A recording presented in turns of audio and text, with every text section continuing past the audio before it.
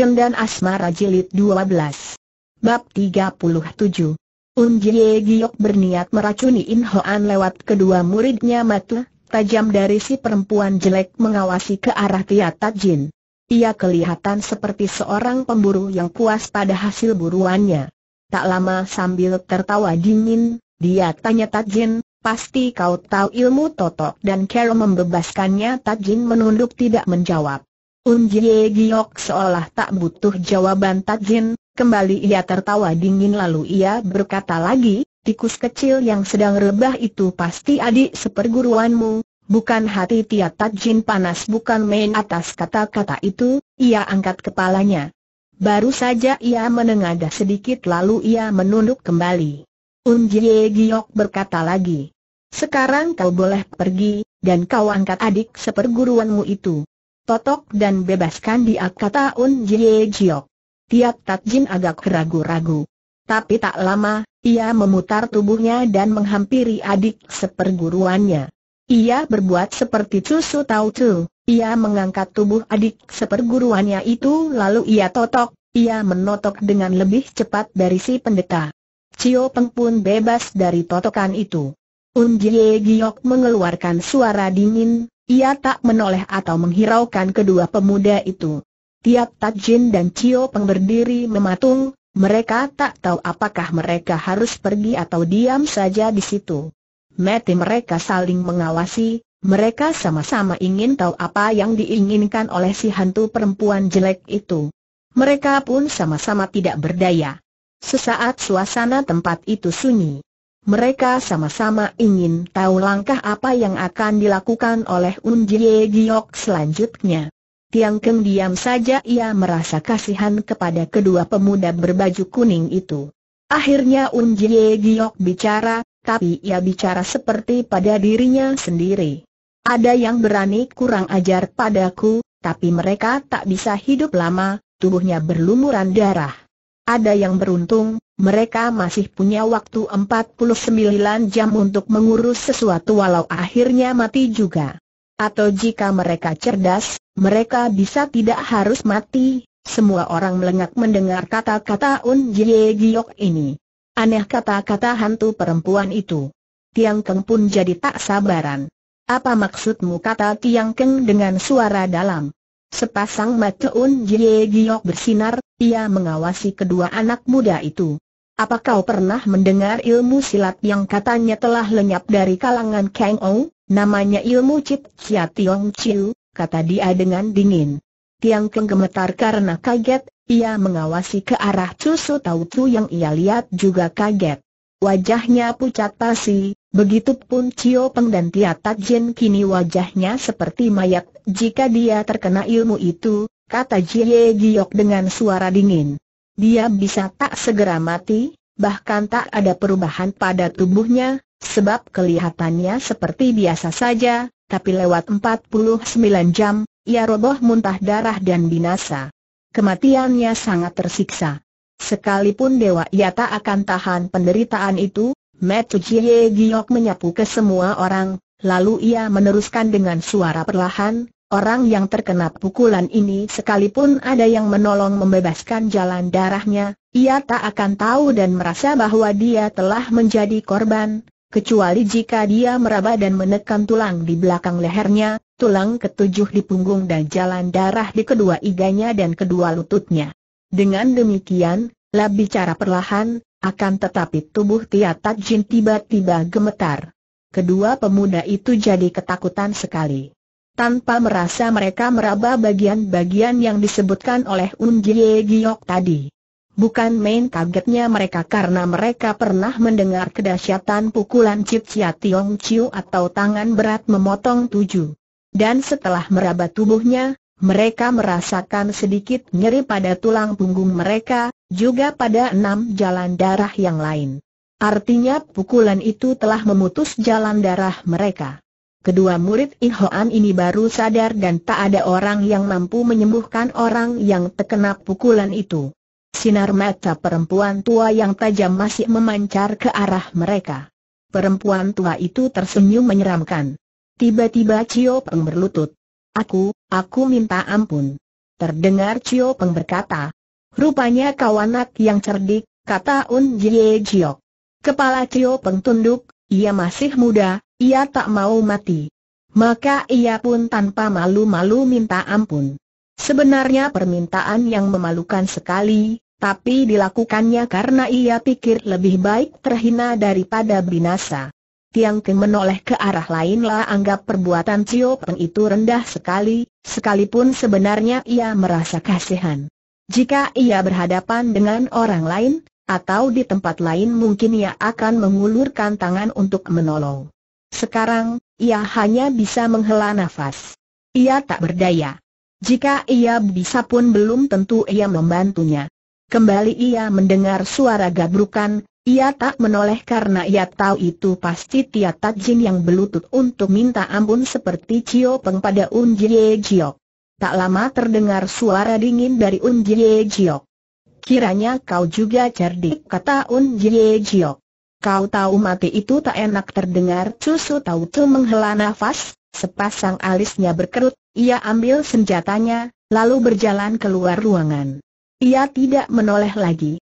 Ia jemu menyaksikan kejadian itu. Ia tak mau mati, tetapi ia tak mau dihina.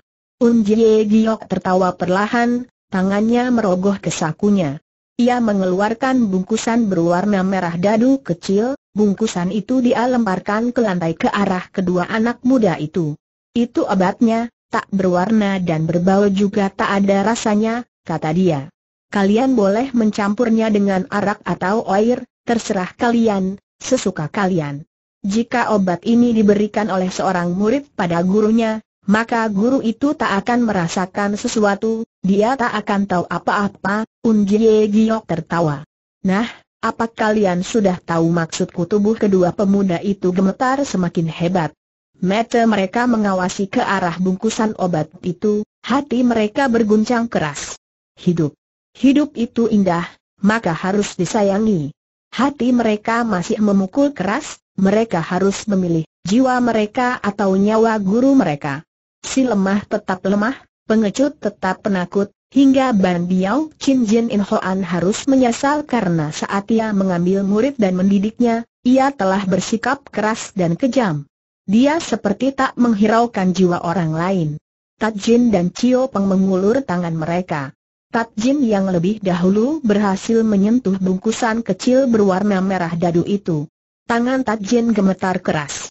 Lalu bungkusan itu ia serahkan pada adik seperguruannya. Dia letakkan bungkusan itu ke tangan Cio Peng. Un Jie Giok tertawa keras dengan suara dingin. Aku tahu kalian semuanya cerdas, kata Un Jie Giok. Memang ada orang yang cerdas karena bakatnya, dia bawa bungkusan obat itu dalam waktu 12 jam dia sudah berhasil membuat obat itu masuk ke dalam perut gurunya. Dia tak tahu care apa yang dia gunakan. Demikian juga dengan kalian, maka dengan demikian kalian akan berhasil merampas kembali nyawamu tak lama Jie Giok tertawa lagi wajahnya berubah. Sekarang lekas kalian pergi kata Jie Giok. Ia kibaskan lengan bajunya hingga terlihat tangannya yang kurus kering. Lekas pergi bentaknya. Kembali Jie Giok tertawa menyeramkan. Tat Jin dan Cio Peng terkejut. Mereka sangat ketakutan, mereka mirip dengan dua ekor kelinci, mereka melompat bangun, lalu mereka memutar tubuh dan lari keluar ruangan. Dalam sekejap mereka sudah lenyap di balik kegelapan malam. Hektometer kembali terdengar suara si jelek hektometer. Manusia cerdas tapi tiba-tiba ia menoleh ke arah Unkin. Sambil mengawasi, ia berkata, Anakin, kau ikuti mereka. Kau perhatikan ke mana perginya dua anak yang lemah dan pengecut itu. Kau bisa aneh Unjie Giok inilah menyuruh Unkin tapi ia juga ingin minta persetujuannya dulu. Tetapi ia juga tak bersedia memberikan kesempatan orang untuk memilih. Unkin agak sangsi. Kedua matanya yang sayu memandang ke arah Leng Pei dan wajah Tiang Keng. Ya, suhu, sahut Unkin. Aku, dari wajah Jie Giok yang bengis tersungging sebuah senyuman. Ia tertawa. Segera kau pergi kata dia. Sekalipun ilmu meringankan tubuhmu lebih baik dari mereka, kau harus segera pergi mengejarnya. Masalah di sini kau tinggalkan saja sebentar ya kata Unkinlah berlari keluar ruangan. Di ambang pintu mendadak ia berhenti, menoleh ke arah Tiang Keng dan berkata, Kau jangan pergi, tunggu aku kata Unkin. Suaranya lenyap bersamaan dengan tubuhnya yang juga lenyap di balik pintu dalam kegelapan malam. Tiang Keng hanya bisa mengawasi dengan melongola keheranan. Walaupun ia ingin mengatakan Un Jie Giok adalah musuh besarnya pada Unkin namun ia tak bisa. Ketika anak muda itu memperhatikan ke arah Un Jie Giok ia lihat tubuh Jie Giok yang tadi duduk tegak di atas meja sekarang jadi bungkuk. Ketika ia memperhatikan sinar matanya, kembali ia keheranan. Ia lihat itu sinar mata yang mengasihi, sayang, seperti sinar mata cinta seorang istri kepada suaminya, atau sinar mata sayang dari seorang ibu pada anaknya. Saat Tiang Keng berdiri diam, Jie Giok berkata dengan perlahan. Kau bukan seorang yang cerdas kata Jie Giok suaranya berat dan dingin. Bukan menjawab Tiang Keng malah bertanya. Kau dari mana? Tanya Tiang Keng. Nyonya tua itu tertawa dingin. Ada orang yang karena urusan orang yang dicintainya, ia sering mendapat masalah yang mendukakan hatinya, kata Jia Giok. Seumur hidupku belum pernah aku menguping pembicaraan orang lain akan tetapi, lah tertawa, sedangkan tangannya menunjuk ke atas. Tiang Keng mengikuti arah tangan Jie Giok yang menunjuk ke atas ternyata di atas genting terdapat sebuah lubang hingga ia sadar dan tahu mengapa Un Jie Giok bisa tiba-tiba muncul dari situ jadikah sudah tahu semuanya kata Tiang Keng. Un Jie Giok mengangguk semua telah ku dengar, kata dia. Ya aku sudah tahu semuanya lah menarik dan menekuk tangan Ni lalu merogoh ke dalam sakunya. Ketika tangan itu dikeluarkan, sekarang di tangannya itu tergenggam sebuah bumbung kecil yang mengeluarkan sinar keemasan. Ini alat melepas jamin Gerdo LN Hang Jit Tau Kut Chiam, kata Jie Gio bengis luar biasa. Sudah lama ku bidikan alat ini ke arahmu. Jika kau ucapkan sebuah kata, hektometer, maka jarum rahasia ini akan terbenam di ulu hatimu. Jantung tiang keng berdebar.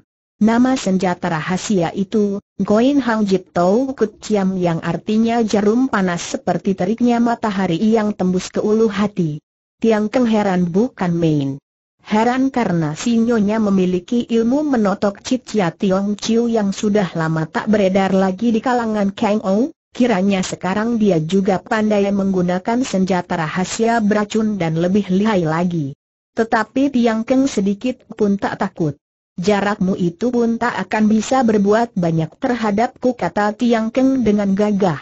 Sinar mata Un Jie Giok memain. Mendadak ia tertawa terbahak-bahak. Kau benar-benar bukan manusia cerdas kata dia nyaring. Apakah kau belum sadar bahwa aku akan membunuhmu ia tertawa lagi, setelah berhenti ia berkata. Aku hendak membunuhmu tapi kau tak segera pergi Tiang Keng membusungkan dadanya, ia tertawa dingin. Aku tahu tak mudah kau bisa membunuhku kata Tiang Keng menantang. Sinar mata sinyonya tua berkelebat. Bagaimanapun aku akan membunuhmu katanya. Sekalipun kau akan pergi, tapi kurasa waktunya sudah terlambat. Sesudah kau kubunuh bersama LN Hoan maka di dunia ini tak ada lagi orang yang mengetahui rahasia ini. Maka untuk selamanya anak Kin jadi milikku perlahan-lahan ia menunduk wajahnya jadi kelihatan lebih tua. Untuk selamanya Unkin akan jadi milikku kata dia lagi. Sampai aku mati, tak ada orang bisa merampasnya. Ya tak akan ada orang lain ia awasi bungkusan berwarna keemasan itu ia permainkan di tangannya. Kau bukan orang yang cerdas. Bukan orang cerdas. Seharusnya kau pergi sejak tadi tiba-tiba Tiang Keng tertawa dengan suara nyaring. Rahasia yang kau katakan selamanya tak ada orang yang tahu kata Tiang Keng dengan suara keras, lalu tertawa lagi. Ketahui olehmu di dunia ini tak ada rahasia yang benar-benar rahasia. Kecuali, Un Jie Giok membentak sebelum Tiang Keng menyelesaikan kata-katanya. Kecuali kau kubunuh kata Jie Giok.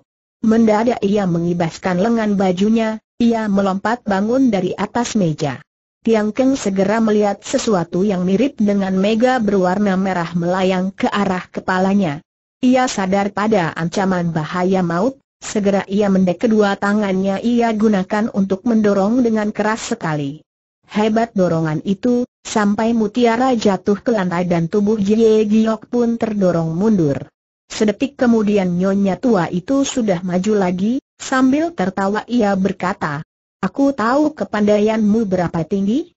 Melawanku, kau tak akan sanggup bertahan sampai 50 jurus. Saat itu aku yakin Sikin belum kembali. Ha, ha, ha. Aku tak perlu menggunakan senjata rahasiaku untuk membunuhmu.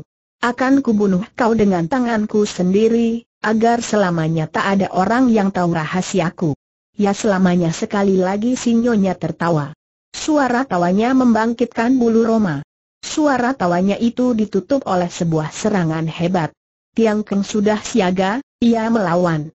Luar biasa gesitnya Un Jie Giok menyerang Tiang Keng secara beruntun sebanyak lima kali. Semua serangannya sangat berbahaya, tapi Tiang Keng yang senantiasa waspada bisa mengatasi serangan Un Jie Giok ini.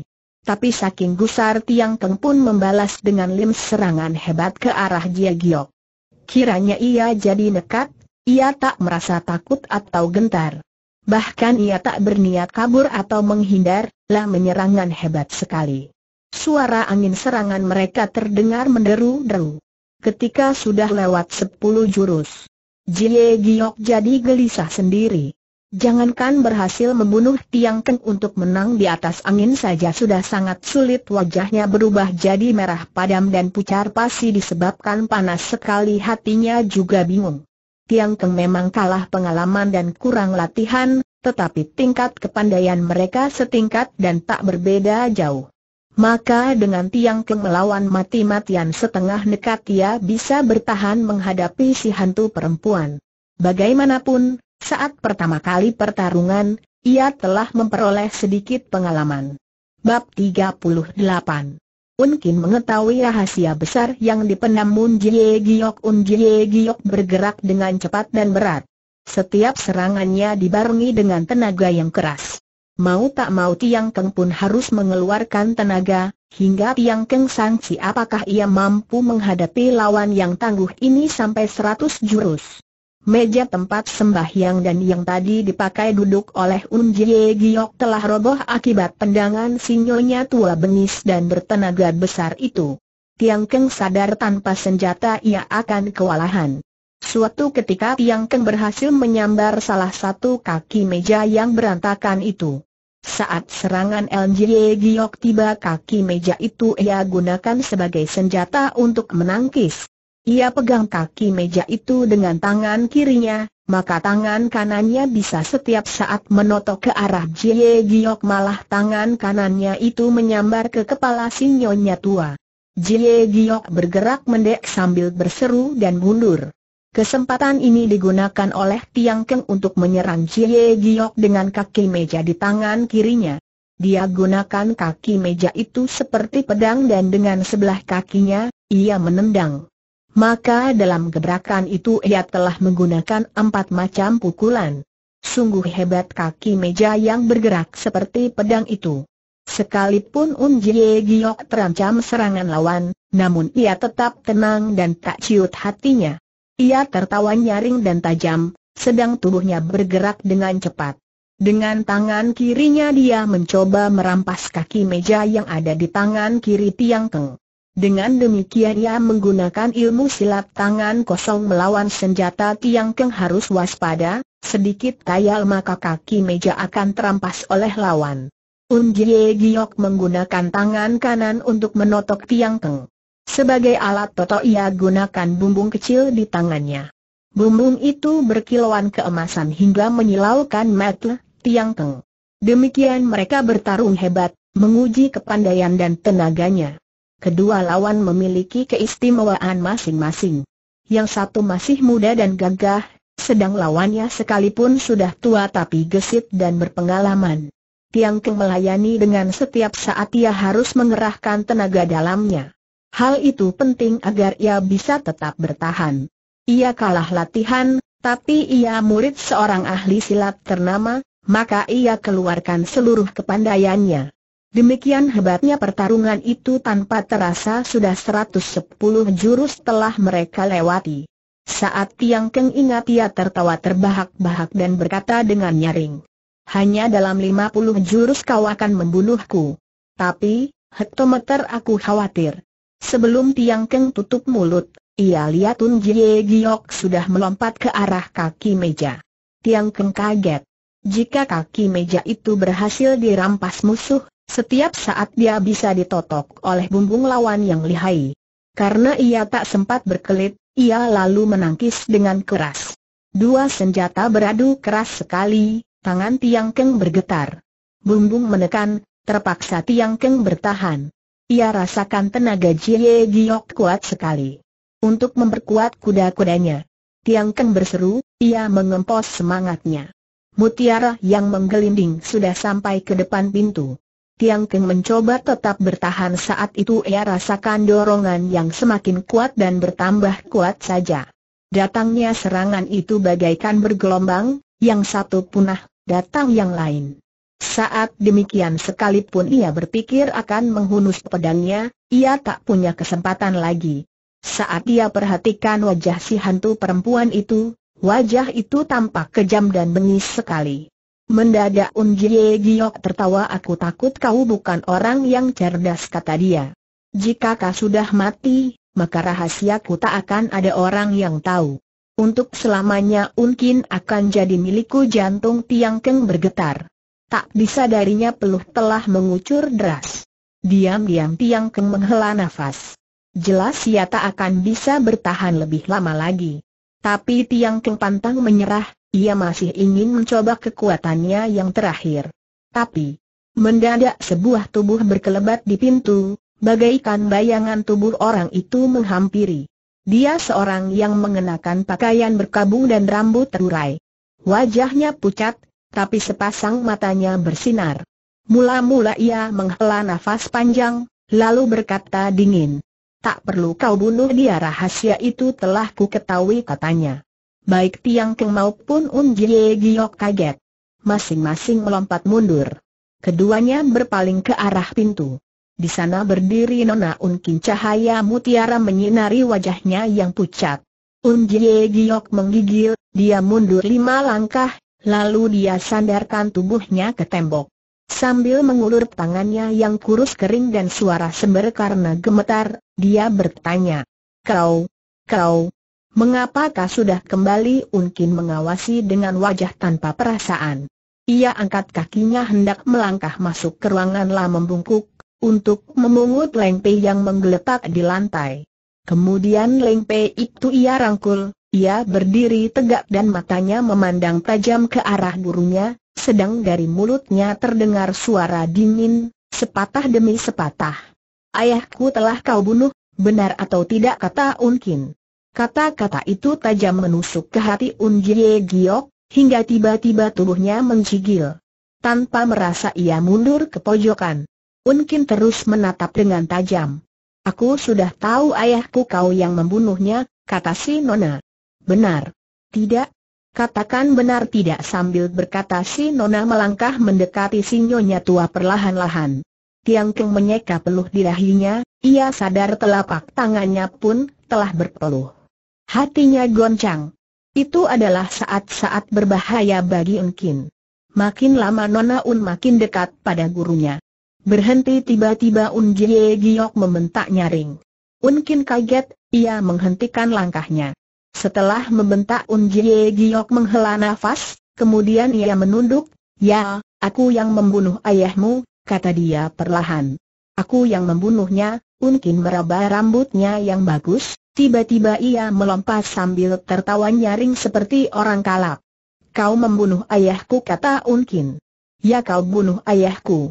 Juga kau bunuh ibuku, Unkin tertawa hanya kali ini tawanya sedih. Tiang Keng merasa tangannya dingin. Suara tawa itu menusuk hati sangat tajam. Unkin mulai melangkah lagi. Ibuku juga kau yang membunuhnya, kan kata si nona air matanya meleleh deras. Benar tidak ya menegaskan. Ia melangkah maju langkahnya berat, Setiap langkah begitu berat seolah seperti godam ribuan kaki yang siap menimpa jantung Un Jie Giok. Perempuan jelek itu terus bersandar di tembok sambil menggigil. Jangan mendekat padaku Jie Giok membentak. Tangannya ia tudingkan. Jangan mendekat, kau tahu tidak? Jangan kau paksa aku membunuhmu. Jangan kau paksa aku membunuhmu Unkin tertawa dengan suara sedih. Kau hendak membunuhku kata Unkin sambil tertawa. Memang lebih baik kau bunuh aku. Kau toh sudah membunuh ayah dan ibuku. Tapi kata-kata Unkin itu dipotong oleh suara tawa Unjie Giok, tubuhnya mencelat ke arah pintu. Kemudian terdengar kata-katanya yang tajam. Aku telah membunuh ibumu. Ha, ha, ha, ha. Aku telah membunuh ibumu kata Jie Giok. Tiang Keng terkejut sejenak, ia tak melihat sinyonya tua karena sudah menghilang di balik pintu. Hanya dari kejauhan masih terdengar suara tawa dan kata-katanya yang ia ulang-ulang. Aku telah membunuh ibumu. Aku telah membunuh ibumu begitu ia berteriak-teriak seperti orang edan. Dalam sekejap ruangan itu jadi sunyi, yang terdengar hanyalah nafas Tiang Keng dan Unkin berdua. Unkin berdiri mematung, ia seolah kehilangan sukma.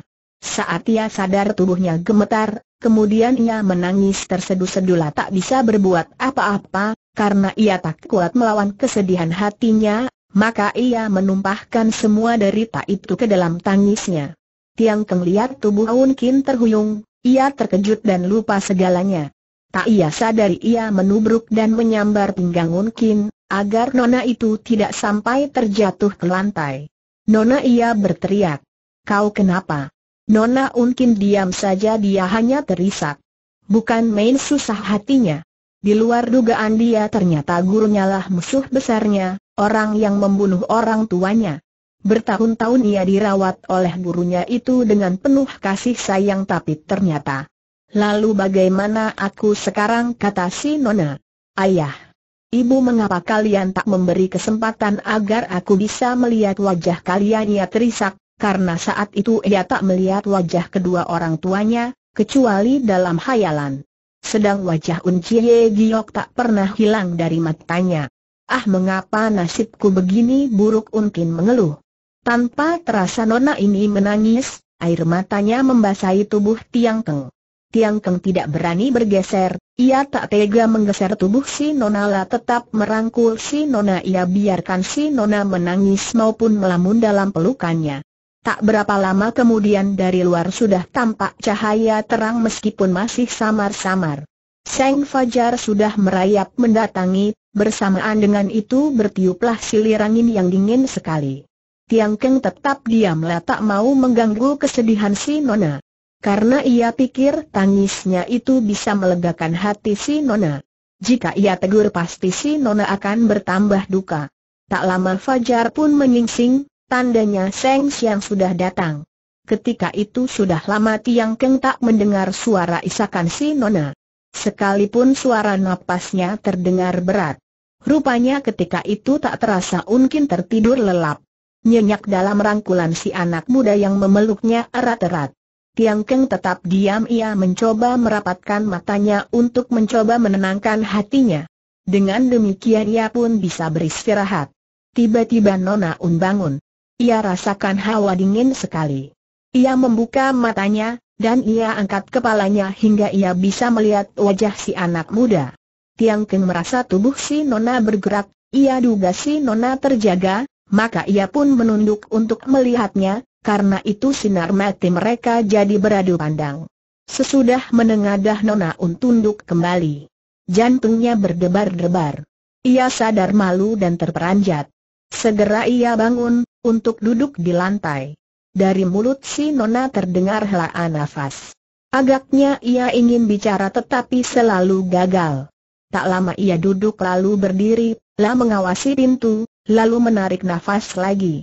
Sudah terang tanah, kata si Nona perlahan.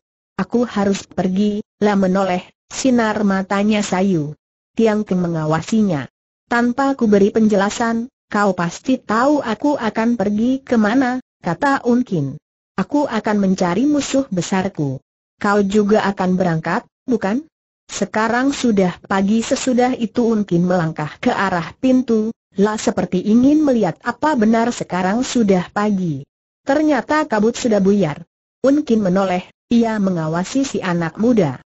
Ia seolah merasa tak akan bisa bertemu lagi dengan pemuda itu. Bukankah ia pun hendak mencari musuh besarnya? Mungkin ia bakal menghadapi bahaya maut. Dengan demikian seolah ia sedang mengantarkan jiwa. Bab 39 Tiang Keng bersama Unkin mencari musuh besarnya Tiang Keng bangun. Ia awasi si Nona, hingga mati mereka bentrok satu sama lain. Tiang Keng diam ketika si Nona sudah sampai di ambang pintu.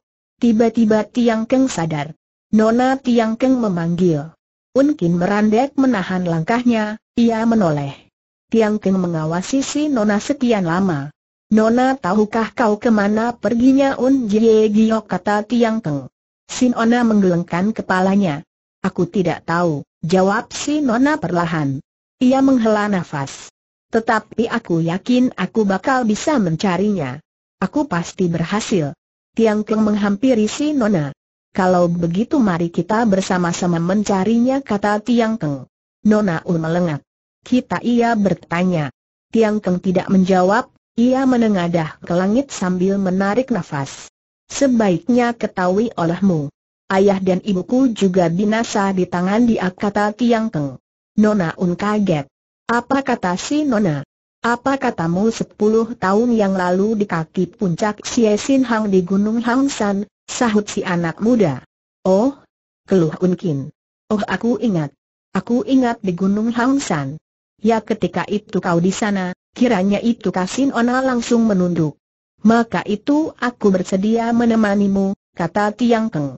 Pemuda ini tak perlu menjelaskan lebih jauh karena Nona Un sudah mengetahui duduk persoalannya.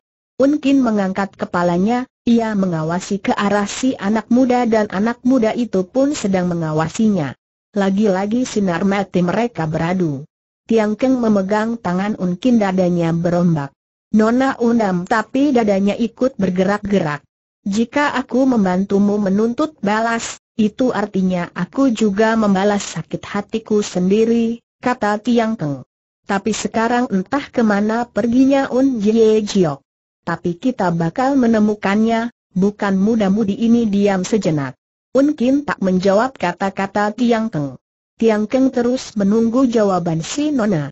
Tapi rupanya tak lama mereka sudah jadi seia sekata. Tak berapa lama mereka keluar dari wihara itu dan berjalan menuju ke Tian Baksan. Itu adalah sarang Un Jie Giok. Mereka sadar mereka sedang menempuh bahaya. Bukan karena Un Jie Giok sangat lihai bagi mereka, tapi di atas gunung pun banyak jago-jago silat ternama, undangan Jie Giok. Dengan demikian pasti jago-jago itu akan menghadapi mereka berdua. Sekalipun demikian mereka maju terus pantang menyerah. Matahari sudah semakin tinggi membuyarkan kabut. Cahayanya memancar ke segala penjuru. Daun-daun di sekitar gunung tampak hijau. Tiang Keng berjalan di samping Nona Un. Musuhmu, kata si Nona. Kecuali Jie Giok, ada lagi yaitu imam bernama In Hoan. Maka jika kita tak bisa menemukan guruku, kau akan kutemani mencari si imam. Hanya untuk yang bisa kuatur. Unkin menarik nafas. Ia tak melanjutkan kata-katanya. Sebenarnya ia putus asa. Tiang Keng mengangguk. Tadi malam mengapa kau bisa segera kembali lagi kata Tiang Keng pada si Nona. Tiang Keng baru ingat pada masalah itu karena heran si Nona bisa kembali demikian cepat. Apa barangkali In Hoan ada di sekitar tempat ini ia berpikir. Sebenarnya aku tidak menguntit mereka, tapi ku hadang mereka di tengah jalan. Aku minta agar mereka mengatakan tempat guru mereka jawab mungkin ketika itu pikiranku sedang pusut. Aku heran kenapa guruku menyuruh aku menguntit mereka, padahal saat itu bisa saja ia tanyakan pada mereka tempat gurunya. Aku yakin mereka tak berani berbohong. Sekarang aku baru sadar, selain ia ingin menyuruhku pergi, ia juga hendak membunuhmu Tiang mengawasi si Nona dengan tajam. Jika tadi malam kau tak segera kembali, mungkin. Kata Tiang Keng. Mungkin, Unkin tersenyum, ia bisa menebak ke mana maksud kata-kata Tiang Keng itu. Sekarang aku mengerti, apa artinya pembalasan, kata si Nona. Tiang Keng mengangguk mereka terus berjalan, sekarang mereka telah memasuki tempat yang banyak pepohonannya. Perubahan suasana ini mungkin akan membuat orang banyak yang putus asa. Kata si Nona. Ia pun menghela nafas panjang. Banyak yang datang dengan suatu maksud, tapi sasaran mereka gagal. Ini ada baiknya mungkin ini keberuntungan kita jika tidak, Tiang Keng mengangguk. Oh ya, aku akan menanyakan sesuatu, boleh tidak kata Tiang Keng. Katakan saja kata si Nona Tiang Keng menarik nafas sebelum ia mengajukan pertanyaannya. Aku ingin membicarakan orang-orang Koai Tu Wee, kata Tiang Keng. Tapi tiba-tiba ia berkata lagi. Ah sudahlah, lebih baik aku tak menanyakannya, lagi pula itu sudah berlalu, mungkin tahu maksud pertanyaan Tiang Keng. Kau jangan khawatir, jawab si Nona. Mereka itu tidak binasa di tanganku. Mereka juga bukan dibunuh oleh pelayan-pelayanku Tiang Keng bernafas lega.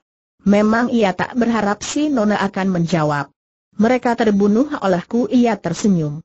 Tapi ia tak tahan untuk tak berkata lagi. Yang mengherankan, mereka tak tahu siapa yang membunuhnya, kata Tiang Keng. Unkin kembali menghela nafas. Untuk selamanya tak akan bisa kau terka siapa pembunuh mereka itu, kata si Nona. Tiang Keng mengawasi tajam. Seandainya aku memberitahumu, pasti kau tak akan percaya, kata si Nona lagi tapi kelak kau akan tahu sendiri Tiang Keng heran. Sambil berjalan otaknya pun bekerja. Apa dia Ban Biao Chin Jin In Hoan kata Tiang Keng. Tiang Keng penasaran keingintahuannya sangat keras Nona Un menggeleng kepala. Apa beberapa orang murid imam itu tanya Tiang Keng lagi. Kembali Unkin menggelengkan kepala. Tiang Keng makin keheranan. Aku benar-benar tak bisa menerkanya, kata Tiang Keng. Siapa orangnya yang bisa menggunakan senjata rahasia sehebat itu jika bukan In Hoan dan sebangsanya? Unkin tertawa perlahan. Senjata rahasia itu bernama Bueng Sin Chiam, jarum sakti tanpa bayangan, si Nona menjelaskan. Sebenarnya jarum itu aku yang melepaskannya, mendengar jawaban itu Tiang Keng terperanjat. Mendadak ia menghentikan langkahnya, wajahnya berubah. Kau kata dia. Kau mungkin tidak terperanjat oleh pertanyaan itu. Malah ia tersenyum manis. Tapi senjata rahasiaku itu tak terbahaya dan tak melukai orang, tetapi malah sebaliknya bisa menolong orang, Tiang Keng melongot, ia mengawasi Nona yang ada di depannya. Bisa menolong kata Tiang Keng keheranannya jadi bertambah. Apa artinya kata-katamu itu ceritaku panjang, nanti saja akan ku ceritakan perlahan-lahan, kata Unkin. Yang penting sekarang kau percaya padaku dan aku tak akan membohongimu sambil berkata si Nona menunduk, wajahnya berubah merah padam. Tiba-tiba ia menunjuk ke arah depan. Lihat di sana kata si Nona. Itu pintu gerbang dan itu adalah tempat yang akan dijadikan tempat pertandingan silat itu Tiang Keng mengawasi ke depan. Katanya dia tak akan mendustaiku, pikir Tiang Keng. Tiang Keng melihat sebuah jalan kecil yang menanjak. Dia mengawasi ke gerbang dari daun-daun yang ditunjuk oleh si Nona. Gerbang atau kaca-kaca itu tingginya lima tombak dan lebarnya tiga tombak. Di kiri kanan gerbang itu digantung sepasang lian, syair, yang berbunyi menengadah melihat langit luas tanpa batas, menunduk mengawasi jago-jago rimba persilatan. Kata-kata itu sungguh temberang. Itu pasti tulisan Unjie Giok kata Tiang Keng. Bukan kata Unkin sambil menggeleng kepala. Lalu tulisan siapa tanya Tiang Keng. Pasti kau tidak bakal menyangka siapa penulis lian itu sahut si Nona. Kembali Tiang Keng keheranan. Siapakah penulisnya tanya Tiang Keng. Penulis lian itu adalah Sim Tau Kiao Jian, si Raja Copet sahut Unkin. Apakah dia Sim Tau Kiao Jian, si hartawan, yang membawa-bawa lukisan perempuan yang dia puji-puji di mana-mana Tiang Keng menegaskan. Sungguh tak disangka, mengapa ia ada hubungan dengan Un Jie Giok Unkin tertawa dingin. Itu seperti pepatah mengatakan, tahu muka, tak akan mengetahui hatinya kata Unkin. Baik buruknya hati manusia itu, sukar ditebak. Di kalangan Kang Ou siapa pun mengatakan Kiao Cian itu orang baik, tapi yang sebenarnya, hektometer. Sudahlah, aku tahu sekali mengenai dirinya saat Tun Jie Giok memutuskan akan memancing semua jago silat datang ke Tian Baksan. Jie Giok sudah mengatur semuanya dengan sempurna tetapi ia masih membutuhkan orang yang pandai bicara untuk mempropagandakan pancingannya itu. Jie Giok tak ingin memakai orang yang sembarangan namun ia juga tak bisa bekerja sendiri. Setelah dipikir-pikir, akhirnya Jie Giok mengirim tiga orang utusan untuk memilih calon juru bicara itu. Setelah orang itu diperoleh, mereka lalu diundang ke atas gunung. Salah seorang dari orang yang terpilih itu adalah Kiao Chian, sedangkan salah seorang dari teman Kiao Chian sangat benci kepada Un Jie Jiok. Orang itu lalu dibunuh supaya ia tak membocorkan rahasianya. Saat hendak dibunuh ia memaki-maki Un Jie Jiok. Sedang yang seorang lagi orangnya pendiam, ia menurut saja, tapi malamnya ia mencoba kabur tapi celaka ia kepergok dan dirintangi serta akhirnya dibunuh juga. Sebaliknya si Raja Copet, selain bersedia bekerja sama ia juga mengajukan bermacam-macam usul. Saat ia turun gunung akan menyiarkan pertemuan para jago silat, ia membawa gambar dan mutiara banyak sekali. Unkin mengisahkan semua tentang Kiao Cian pada Tiang Keng, hingga pemuda ini sangat benci dan ingin membunuhnya. Orang semacam dia, aku tahu banyak sekali kata si Nona. Ada orang yang di kalangan Kang Ou sangat terkenal, tapi hektometer ternyata. Nanti sesudah kau ada di dalam, kelak kau akan menyaksikan sesuatu yang tak pernah terpikir olehmu Tiang Keng menghela nafas, ia mengikuti si Nona terus berjalan ke arah Gapura. Sesudah berjalan beberapa tombak jauhnya, mereka menemukan jalan bercabang dua, pada setiap jalan terdapat papan kayu pek berisi pemberitahuan. Papan yang satu berbunyi, inilah jalan yang benar, silakan tuan berjalan dari sini.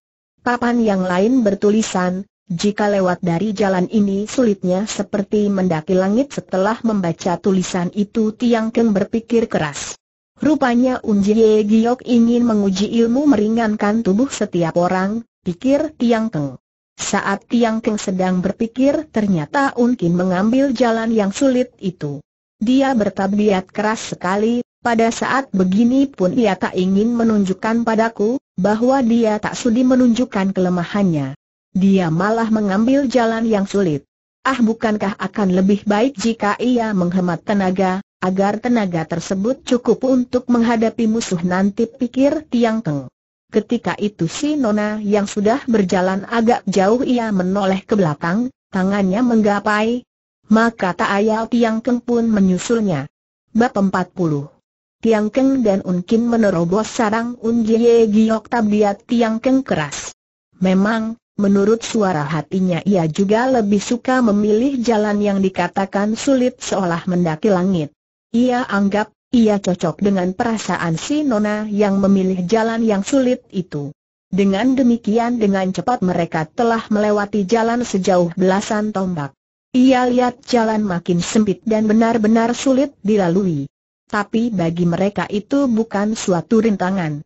Jika jalan ini dianggap sulit seperti memanjat langit, maka di dunia ini sungguh banyak jalan yang sulit pikir Tiang Keng. Sambil berpikir Tiang Keng terus berlari-lari mendaki. Lewat belasan tombak kemudian ia jadi haran. Jalan itu bukan makin sulit, malah ia menemukan jalan itu rata, sekalipun orang tak bisa silat pun mereka bisa berjalan di tempat ini dengan leluasa. Saking heran Tiang Keng jadi curiga. Lalu ia berkata pada si Nona, jika jalan ini disebut sulit, lalu bagaimana dengan jalan yang lainnya itu? Barangkali jalan itu empuknya seperti ketika kita berjalan di atas kapas kata Tiang Keng. Unkin tertawa. Kembali tebakan busalah kata si Nona. Tiang Keng keheranan, tapi hanya sebentar, kemudian sadar. Ah! Kalau begitu ini akal Unjia Giok, bukan kata Tiang Keng. Jalan yang bagus sukar dilalui, jalan yang jelek mudah dilewati. bukankah dengan demikian banyak orang yang terjebak dan terperdaya? Sembilan dari sepuluh jago silat jadi korbannya Unkin mengangguk. Kali ini kau menebaknya tepat sekali kata si Nona. Jalan yang bagus dan rata serta tak mencurigakan, tapi sebenarnya banyak perangkapnya. Jangankan orang yang kepandaian ilmu meringankan tubuhnya rendah, sekalipun yang lihai, jika dia lalai, dia pasti terjebak. Apalagi di jalan yang disebut seratus langkah pasir. Atau sungai yang diberi nama sepuluh tombak sungai beracun. Sedikit saja orang kurang hati-hati, jiwanya bisa melayang, sesudah itu mungkin diam sebentar, baru ia meneruskan lagi kata-katanya. Kebanyakan orang yang datang kemari mereka ingin merampas mustika, kata si Nona. Mereka kebanyakan bukan orang lihai, maka mereka tak mau membuang tenaga, lalu memilih jalan yang bagus. Hingga dengan demikian mereka terjebak, bukan saja tak berhasil mengambil mustika, malah mereka pun binasa. Sedang yang lihai mereka memilih jalan yang sukar. Berbagai rintangan yang ringan bukan halangan baginya hingga ia bisa mencapai tujuannya tanpa rintangan Tiang Keng menghela nafas. Un Jie Giok benar-benar lihai pikir Tiang Keng. Dia sungguh berbahaya. Ada pepatah yang mengatakan, barang siapa berani mendekati gincu, pewarna, dia akan merah, barang siapa mendekati bak, tinta, maka ia akan hitam. Itu memang benar. Demikian dia dengan Unkin yang selama ini dididik dengan keras dan kasih sayang dari Jie Giok maka Unkin jadi berhati keras, agak kejam. Ah tapi mudah-mudahan saja setelah dia selalu dekat denganku, kemudian ia bisa, mendadak Tiang Keng berhenti melamun, ia berpikir lamunannya terlalu jauh. Lalu ia melangkah ke depan, sampai akhirnya mereka sampai di ujung jalan. Di sini mereka menemukan sebuah gapura lain, di tempat ini tak ada lian hanya ada tiga buah huruf besar berbunyi, T.E. Kwan artinya kota nomor satu. Unkin berdiri di bawah Pelou, Gapura, dan mengawasi Tiang Keng sambil tersenyum. Wajah Tiang Keng bersemu dadu. Eh kau sudah sampai lebih dulu, kata Tiang Keng. Unkin tertawa. Aku lihat kau sedang berpikir, maka kau kulewati, kata si Nona. Entah apa yang sedang kau pikirkan ia mengawasi wajah Tiang Keng, ia lihat wajah Tiang Keng merah dadu mendadak ia sendiri lalu menunduk. Dalam waktu yang singkat kedua muda-mudi itu telah mendapat perasaan yang luar biasa hingga mereka lupa kalau mereka pernah jadi lawan satu sama lain. Kesan baik yang timbul di antara mereka membuat mereka berdua tersenyum. Di sini seluruhnya terdapat tiga buah gapura, kata Nona Un. Di gapura pertama ini ada tiga buah lui tai, panggung tempat bertanding. Pada gapura nomor dua terdapat Lohan Hio dan Bwe E Ho Acung, patok bunga Bwe E. Pada gapura yang ketiga disiapkan bagi kaum leki, ilmu tenaga dalam, untuk mereka saling menguji kepandaiannya. Masing-masing seperti Kim Chu Hoan Chiang, Ngo Bong Sin Chu, Kek San Pagu. Sesudah melewati ketiga gapura itu baru, lah berhenti bicara sejenak, wajahnya jadi merah, tapi segera ia bicara lagi, tapi sekarang semua itu sudah tak kuhiraukan lagi Tiang Keng menghela nafas. Untuk semua ini entah berapa biaya yang dikeluarkan, belum lagi tenaga Unjie Giok, kata Tiang Keng. Sungguh tabiatnya aneh sekali. Semua itu dia atur untuk mencelakakan orang lain, juga mencelakakan diri sendiri.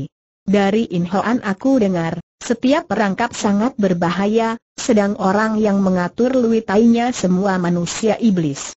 Lalu di mana mereka sekarang para undangan Jie Giok sebagian belum sampai, yang sebagian sudah ada di dalam. Mungkin sekarang mereka sedang tidur, kata Unkin. Sebelum kata-kata Unkin selesai diucapkan, di balik Pailo terdengar suara panggilan. Nona kami di sini mau tak mau Tiang Keng dan Unkin terkejut, keduanya langsung menoleh dengan cepat. Dari atas iauteng bambu di samping Pelo, melompat tiga orang, mereka melayang bagaikan burung walet, dan terlihat tiga nona yang mengenakan pakaian serba merah yang ringkas. Mula-mula mereka mengawasi ke arah Unkin. Ketika melihat Tiang Keng mereka jadi heran, mereka berdiri dan sangat tercengang.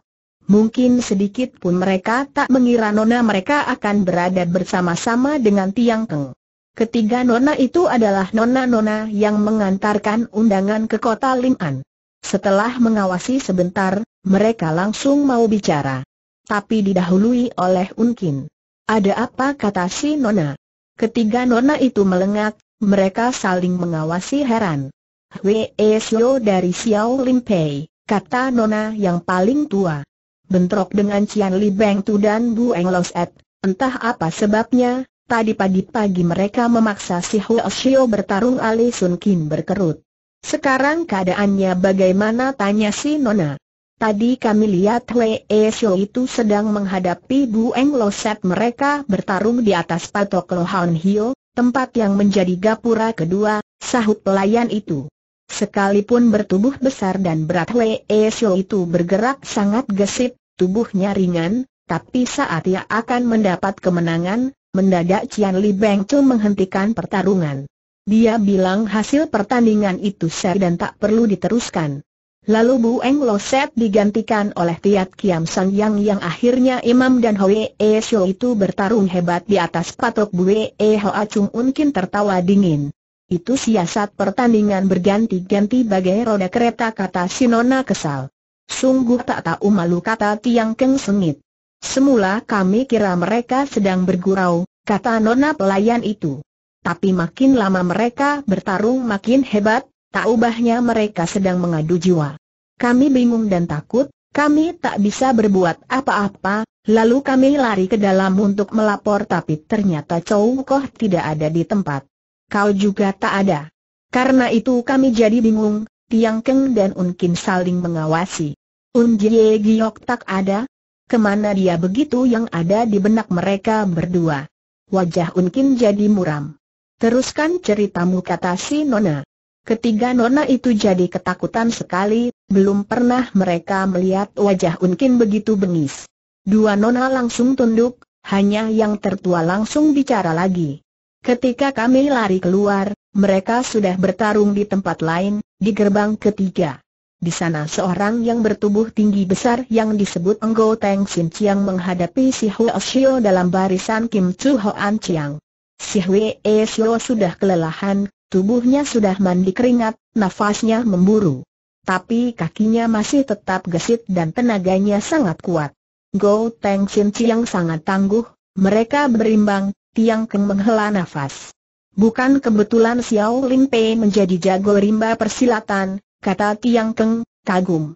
Padahal Chu Su Tau Chu hanya ahli tingkat dua. Tapi tenaga dan kepandaiannya harus dikagumi.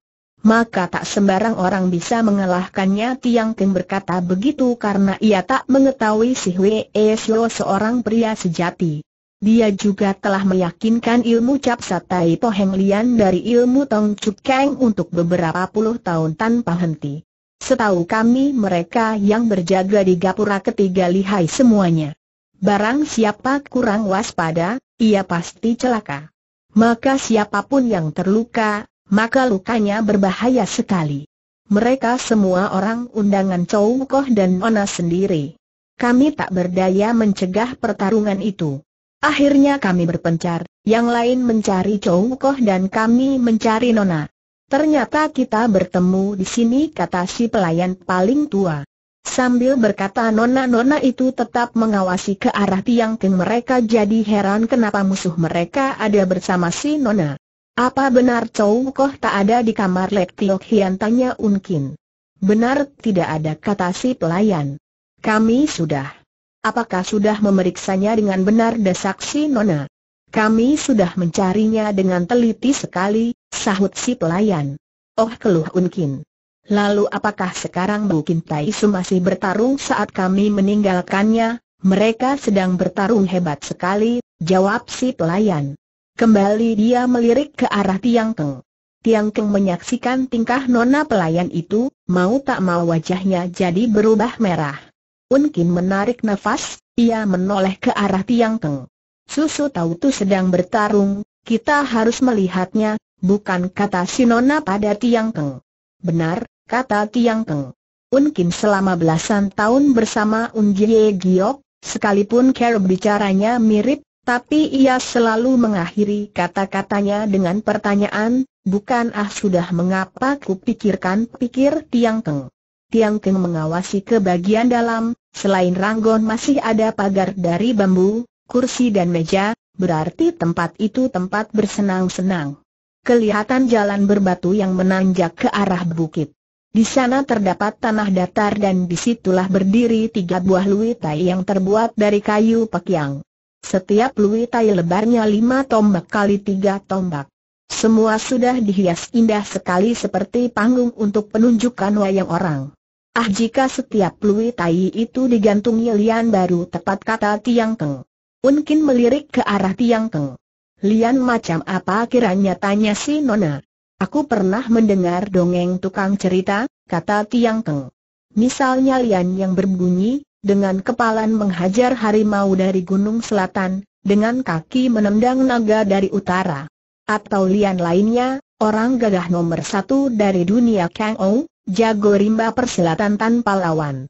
Jika ketiga Lui Tai itu tanpa lian jadi kurang pantas. Sin Ona tertawa perlahan. Ketiga nona pelayan itu pun ikut tertawa.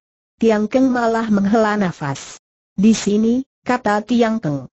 Ternyata dongeng dan kenyataan jauh berbeda sekali. Dalam dongeng banyak yang sedap-sedap, sebaliknya dalam kenyataan banyak kepahitan dan kesedihan. Benar, kan Unkin mengangguk perlahan.